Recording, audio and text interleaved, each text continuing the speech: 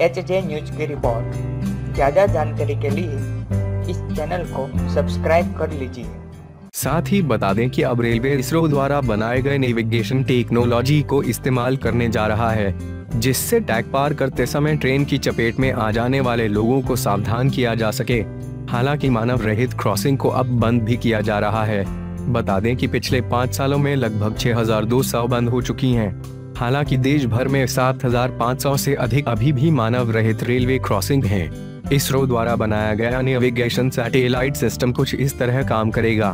दरअसल सिस्टम के तहत ट्रेन के इंजन में चीप लगाई जाएगी जिसके सिग्नल सैटेलाइट के ज़रिए आगे आने वाले स्टेशन पर पहुँचेंगे। सिग्नल के ज़रिए स्टेशन पर हुंटिंग होगी जिससे वो वहाँ की क्रॉसिंग पर जाकर चेक करेंगे।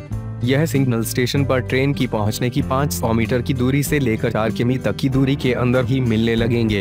इन सिग्नल के ज़रिए जोरों से अलार्म बजने लगेगा, जिससे रोड क्रॉस कर रहे शख्स को वहाँ से हटने के लिए बोला जाएगा। साथ ही जैसे जैसे ट्रेन करीब आती जाएगी वैसे वैसे यह अलार्म भी तेज होता जाएगा।